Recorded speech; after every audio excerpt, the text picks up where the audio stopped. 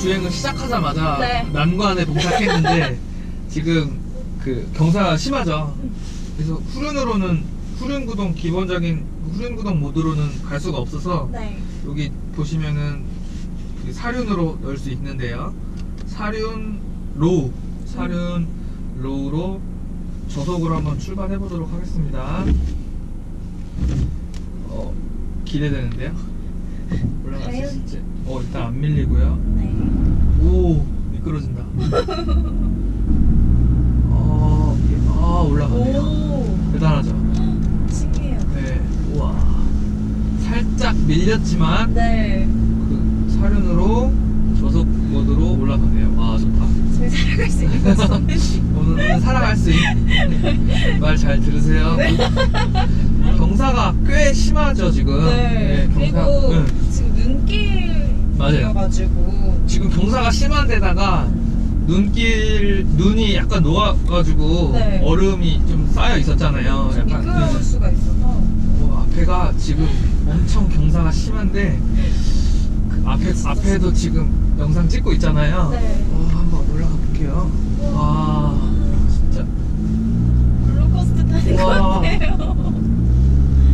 와, 일반 승용차로는 올라가기 힘들 것 같은데요. 네. 와 손쉽게 올라오네요. 네. 아, 지금 사륜 저속 모드로 도로를 출발해 나가고 있습니다. 네. 음, 돌려가지고 한번 나가보겠습니다. 코란도 스포츠를 타면서 놀랐던 부분이 뭐였냐면은 이 그 저속 저속이라 아니라 그 오프로드 구간에서 오히려 허- 더 좋은 성능을 발휘하더라고요. 음. 공도에서는 일반 도로에서는 네. 좀 불만족스러운 주행 성능을 보였는데 오히려 이런 임시 도로 음. 아니면 비포장 도로에 오니까 네. 아주 매력을 발휘했다. 그리고 물 만나 물고기처럼 음. 다녔는데 렉스턴 스포츠 역시 아주 좋은 오프로드 성능을 보여주네요. 네. 사륜으로 사륜 저속 모드로 가니까 아주 주행이 얼음에다가 가파른 공간임에도 불구하고 아주 그, 선- 음. 코스 선택을 네, 기가. 막히게 했나요? 근데 여기 공간 지금 이 다리는 가보고 싶은 곳, 곳을 가보고 싶은데 너무 좁죠? 와 리얼이네요 완전히 네, 내려가 볼게요 어, 저기 근데 눈길이어가지고. 네 조심히 갈게요 떨어지면 절벽이니까 네. 네, 지금 가면 안 될 거예요? 죽- 죽으면 가면 안 된다고요? 죽으면 끝인데 뭐 저승까지 쫓아갈 거예요. 아, 무섭네요. 예. 그래서 어 사륜 확실히 low 모드로 주행을 하니까 네. 안정적인 주행이 되네요. 예. 눈길에서도 코가 듭니다. traction이 네. 어, 좋습니다. 승차감이 오히려 코란도 스포츠 같은 경우에도 더 좋아졌었거든요. 오프로드 구간에서. 네네. 그 렉스턴 스포츠도 역시 오프로드 구간을 충분히 이렇게 갈 수 있다는 부분은 상당히 매력 있다고 볼 수가 있어요. 어, 진짜 오프로드 코스에 들어섰고요. 와, 오프로드에서 오히려 좀 더 적합한 서스펜션 반응처럼 네. 지금 어, 좀 부드럽게 승차감이 좋죠. 네, 이렇게 갈 수 있는 부분이 참 좋습니다. 어, 지금 완전 비포장 도로거든요. 진짜. 네. 완전 비포장 도로고 지금 거의 차가 일반 승용차로는 뭐 다닐 수 없을 정도의 길인데요. 잘 올라가 주네요. 주파하는 모습이 아주 훌륭합니다. 와. 우와. 눈길에도. 무리 없이 이렇게 올라갈 수 있는 부분이 참 훌륭하네요. 와. 오. 눈길에서 더 이상 전진이 안 되네요. 네. 네, 후진으로 다시 가져 나오도록 하겠습니다.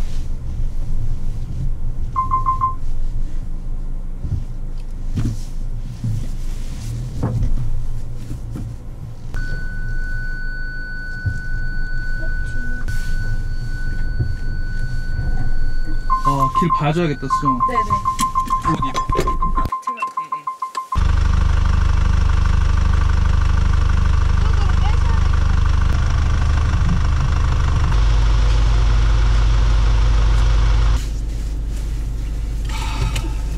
윤 기자랑 지금 한 잠깐 카메라가 멈춰져 있는 동안 한 10분 동안 지금 사투를 벌였는데요. 아, 못, 나, 못 나올 줄 알고 어, 괜히 오늘 못 나간다는 말을 가지고 큰일 날 뻔했어요. 말을 시간을 네. 보냈어요.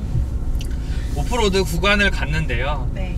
상당히 심한 오프로드 구간이었고 눈이 있어가지고 맞아요. 주행이 안 돼요. 근데 이제 그 사륜 저속 모드로 지금 주행을 했는데 그 주파하는 능력은 상당히 뛰어나거든요. 네. 근데 이제 문제는 뭐냐면은 winter 타이어가 안 돼 있으니까 음. 그다음 눈이 좀 많이 쌓여 맞아. 있었거든요. 진흙이니까 이게 자꾸 헛 바퀴. 뒤섞 뒤섞여가지고 헛바퀴가 도는 부분이 있어서 이 traction control 기능을 해제를 하고 음. 후, 후, 후진으로 나왔는데요. 네. 제가 너무 당황한 표정이 있어서 제가 녹화는 안 했습니다. 잘 나왔고요. 확실히 사륜 이 저속 구간에서는 주파하는 능력이 상당히 뛰어나다. 그쵸. 볼 수가 있겠습니다. 오늘 리뷰가 참 길어요, 그죠? 네. 이제 오프로드 기능을 가실 때도 traction control 기능을 이렇게 해제를 하고 가시면은 오히려 그 헛바퀴 도는 부분을 조금 더 컨트롤 할 수가 있어요. 네. 상황에 따라서. 그렇기 때문에 오프로드를 전문적으로 타시는 분들은 더 잘 아시겠지만 그런 부분도 체크하시면 좋을 것 같습니다. 지금 반 비포장 도로에 뭐 얼음하고 뭐 눈하고 막 뒤섞여 있는데 저. 사륜 저속 모드로 주행을 하니까 아주 안정적인 모습을 보여주고요. 그다음에 진짜 쌍용차는 SUV만 현재 이제 만들고 있는데 체험면이 단종되면서 네. 그 특화되어 있는 차종들 뭐 지금 렉선 스포츠 같은 경우에도 사륜 주행 그리고 오프로드 주행이 참 잘 된다는 부분이 좋습니다. 지금 앞에 보셔도 얼음이잖아요. 네. 얼음인데도 주행이 잘 되고요. 어, 잘 올라가는 부분이 참 주파가 잘 되네요. 도로를 잘 주파해 나가는 부분이 참 좋습니다. 오프로드 주행이 일단은 이렇게 험한 아주 험한 곳은 못 가봤어요 저희가 눈도 있고 해가지고 못 가봤는데 그래도 지금 뭐 세미 오프로드라고 할 수 있고 또 눈하고 또 얼음하고 또 급경사 지역을 이렇게 달릴 수 있는 부분은 상당히 좋습니다 네. 일반 승용차로는 엄두도 못 내죠 그쵸. 네. 사륜 저속 모드에서는 상당히 안정적인 그런 오프로드 성능을 보여줘서 음. 어, 매력이 있어요. 지금 저는 네. 이제 뭐 도심도 저희가 조금 달려왔었잖아요. 그렇죠, 촬영을 하기 맞아요. 전에. 네네네.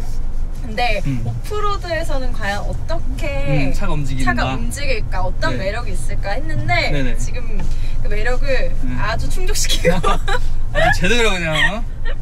음, 제대로 충족시키고 가고 네. 있습니다. 참 여러 다용도로 사용할 수 있을 것 같아요. 말씀드렸던 대로 뭐 건설업 하시는 분들, 농업 하시는 분들 여러분들이 다 음. 그다음에 가능할 것 같습니다. 이거는 또 가족 용 레저 차량으로 그렇죠. 상용차가 내세웠기 때문에 캠핑. 뭐, 네 캠핑 갈 음. 때도 굉장히 좋을 그렇죠. 것 같고 네. 캠핑에 어떻게 보면 아주 최적화된 거의 차종이다 음. 라고 볼 수 있을 정도예요. 네.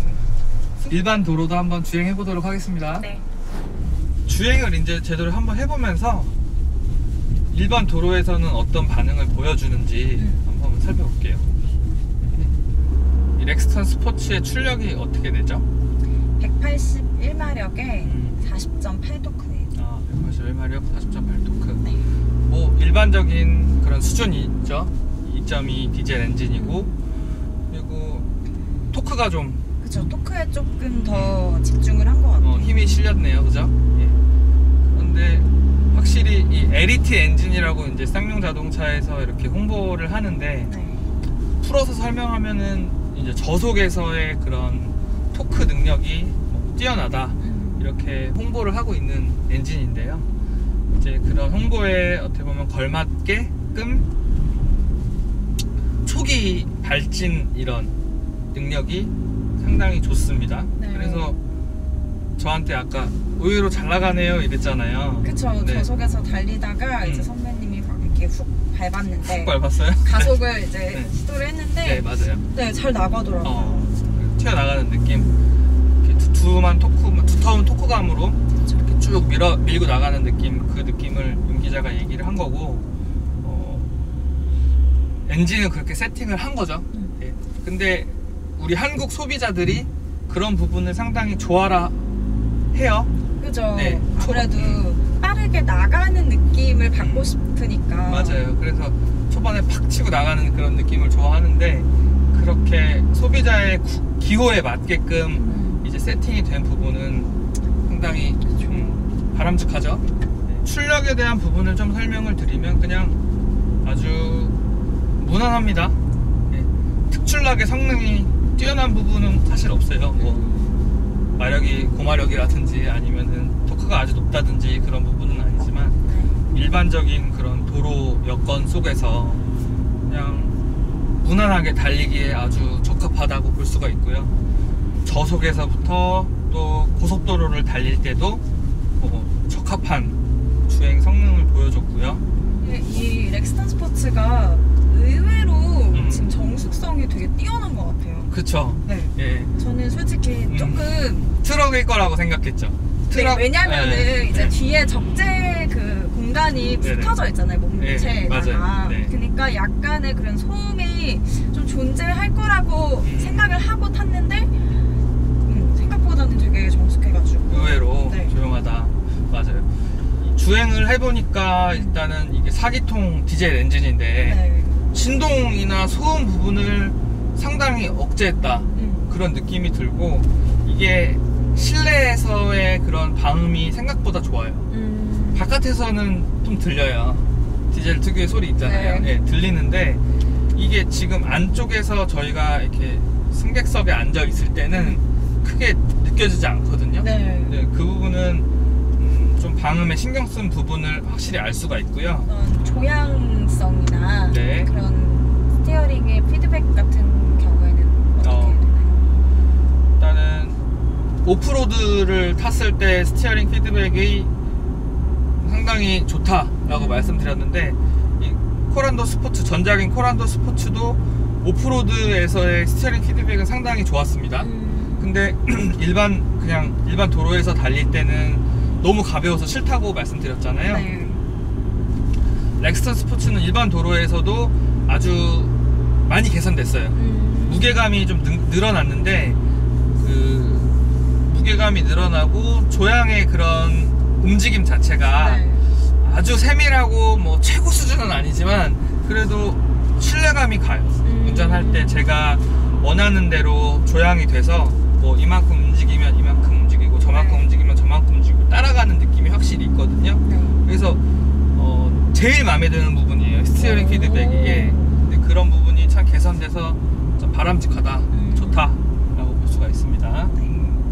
렉스턴 스포츠에는 모드가 네, 세 가지가 모드. 있잖아요. 네. 신기하게 normal이 없고 그렇죠.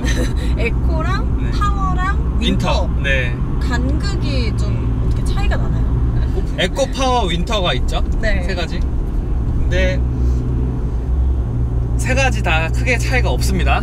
결론적으로. 네. 그리고 지금 제가 파워 모드로 운전을 하고 있었는데 어, 에코 모드로 운전했을 때랑 거의 비슷한 느낌을 받았습니다. 네. 근데 옆에서도 그래요. 음, 느낌이 그래요? 거의 변화가 어, 어, 없어서 네. 그래서 그 부분은 뭐 조금 아쉽죠. 예. 근데 winter 모드에서는 지금 딱 겨울이고 노면도 차갑고 추운데요. winter 모드에서는 좀 더 안정적인 그런 traction을 확보하려는 네네. 게 느껴져요. 예. 그래서 winter 모드는 그 부분이 좋아서 겨울철에는 사용하시기에 괜찮다라고 볼 수가 있습니다. 네. 이 차량이 네. 지금 그 아이신사에 네. 6단 변속기가 장착이 됐잖아요. 그렇죠. 변속 반응은 어떤 것 같으세요? 옆에 탔을 때 이렇게 뭐 속도를 올리거나 내릴 때 뭐 이렇게 울컥거리는 게 느껴진 적 있어요? 아니요, 좀 부드럽게 나간다는 거죠. 그렇죠. 예, 이 사실 변속 충격이 종종가 다 있을 수도 있는데요. 뭐 저도 운전하는 저도 크게 느껴지지 않을 정도로 변속의 그런 반응은 상당히 부드럽습니다.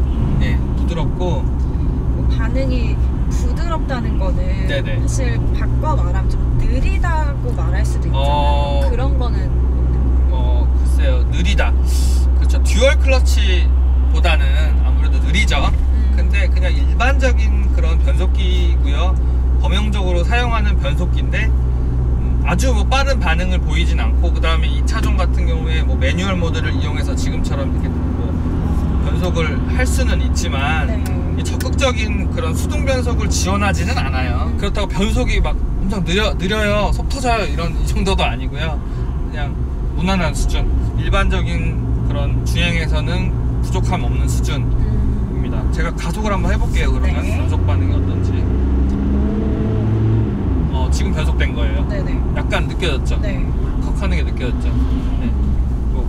뭐, 변속되는 게 이제 급가속을 했을 때는 변속되는 게 느껴졌네요. 그죠? 몸으로 느껴졌는데 그렇다고 해서 뭐, 음, 큰 충격은 그죠, 아니죠. 그죠. 큰 예. 충격은 아니고. 큰 충격은 아니고, 그리고 뭐, 적절하게, 음. 아주 빠른 변속은 아니지만 적절하게 그 속도에 맞는 그 변속기, 단수를 정확하게 찾아 들어간다. 네. 저는 궁금한 게 네. 연비가 또 음, 연비가. 중요한데 이 차는 또 저렴하니까 그쵸. 연비도 좋으면 참 좋을 텐데 그렇죠. 약간 도시명 오프로드 이렇게 내놓아서 네네. 연비가 좀 떨어지진 않을까 생각이 들었거든요. 지금 보시면은 그냥 도심에서 달렸을 때는 한 8, 9 음. 그다음에 조금 더 연비에 조금 신경을 써서 달리면 한 8, 9, 10 정도 그 정도 왔다 갔다 할 것 같고 이렇게 조금 그 길이 네. 뚫려 있는 이렇게 외곽 도로를 달린다든지 고속, 고속도로를 달리신다든지 하면은 네. 한 11에서 12 정도 어. 또 조금 더 경제적인 운전을 하신다면 한 13 정도까지 이렇게 주행이 가능할 것으로 예상이 됩니다. 네. 그러면은 가격도 정말 저렴하고 연비도 평범하고, 평범하고 음, 세금도 싸고 네 세금도 네. SUV에 비해서 싸고 그렇죠. 그러니까 좋은데? 선택할 음. 수 있는 그런 매력이 많은데요. 그렇죠. 이 차종이 그래서 지금 이렇게 좋은 평가들을 음. 받고 있는 것으로 보여요. 네. 환영할 만한 일인, 일이에요. 그죠. 네, 가격도 뭐 나름 저렴하게 나오고 또 여러 가지 상품성을 높였고 음. 그리고 또 국내 유일의 어쨌든 픽업 트럭이고 그쵸. 네, 여러 가지 장점들이 있어서 이 차종 이런 스타일의 차들을 좋아하시는 분들한테는 뭐 아주 좋은 선택이 아닐까 이렇게 생각됩니다. 네. 브레이크 부분 역시 네. 되게 거슬리는 게 없거든요. 어, 그쵸. 네. 윤 기자 얘기한 대로 무난합니다. 지금 제가 브레이크 밟고 있는데요. 네. 그냥 초기에 응답, 이 초기에 제동 응답이 몰려, 몰려 있는 것도 아니고, 뭐, 준중하게 제가 이렇게 발을 꾹 밟아서 압력을 쭉, 꾹 줄, 주면은 점진적으로 제동력이 살아나요. 그쵸. 네. 그래서 지금 뭐 차가 좀 없으니까 가속을 쭉했다가, 가속을 쭉 했다가, 네. 다시 브레이크를 이렇게 밟아도 어, 크게, 네. 진짜. 네, 괜찮아요. 그리고 아무래도 nose dive 현상은 좀 있습니다. 음. 앞으로 조금 쏠리기는 해요. 맞아요. 브레이크를 밟으면 이렇게 앞으로 약간 쏠리는 느낌은 있는데, 음, 그렇다고 불쾌한 수준은 아니고요. 승차감을 크게 저해시키지도 않고, 네, 브레이크의 반응도 뭐 무난하고 차량의 성향과 전체적인 성향과 비슷하다. 일관성이 있고 조화로운 부분이다. 네, 이렇게 볼 수가 있습니다. 렉스턴 스포츠 총평 한번 해보겠습니다. 네. 이 차종이 나오고 나서 음. 저희가 오늘 가평까지 멀리 왔어요. 네. 차종에 대한 기대감이 저는 상당히 높았고 맞아요. 오프로드에 대한 주행 성능이 대단히 궁금했는데 음, 나름대로의 수확이 있었습니다. 네. 윤 기자가 보기에는 어땠어요? 저는 이 차가 일반적인 도로 주행이랑 음. 그다음에 오프로드에서 오프로드에서의 도로 주행까지 오프로드에서 움직임까지. 네. 굉장히 적절한 합의점을 도출해냈다 이런 생각이 들었고요. 두 가지 모두를 만족시켰죠. 네네. 그다음에 이 공간이 굉장히 넓고 또 2열 공간 같은 경우에는 전 모델이었던 코란도 스포츠를 개선을 해서 각도도 더 편안해지고 등받이 각도. 네, 공간도 더 넓어져서 굉장히 이런 픽업 트럭을 찾는 분들한테 매력적으로 다가올 것 같다는 생각이 들었어요. 어 맞아요. 좋은 평가예요. 네. 저도 이 오프로드 구간에서 탈출을 못 해갖고 좀 깜짝 놀라긴 했는데 결국에는 탈출을 했죠. 네. 근데 음, 이 오프로드 성능이 예상했던 것만큼 뛰어났다. 음. 사실 코란도 스포츠도 오프로드 성능은 좋았어요. 근데 이 렉스턴 스포츠 같은 경우에는 on-road에서 일반적인 도로에서도 뭐 G4 렉스턴이 크게 부럽지 않을 정도의 그런 어, 탄탄하고 상당히 괜찮은 그런 승차감과 또 조향 능력 이런 부분을 전체적인 걸 보여줬고요. 또 오프로드에서도 뭐 충분한 능력을 보여줬어요. 그래서 두 가지 모드를 이렇게 보여줄 수 있다는 거는 충분한 매력으로 다가왔다라고 볼 수가 있겠습니다. 그리고 저희가 짐을 실어봤는데 저희가 꽤 많은 짐들이 뭐 다 실었는데도 얼마 공간을 차지 않았을 정도로 이 적재함의 공간은 생각보다 상당히 큽니다. 그래서 누차 말씀드리지만 뭐 농업이나 건설업이나 이렇게 사- 이렇게 업무를 하시거나 아니면 정말 뭐 레저용에서 정말 음. 캠핑 장비를 다 실었고 떠나도 충분할 공간이 나와요. 그런 부분이 좀 좋고 그리고 코란도 스포츠보다 확실히 개선된 상품성 그런 부분도 높은 좋은 평가를 줄 수 있겠습니다. 네. 네. 카이주에서 평가하는 렉선 스포츠는 참 좋고요.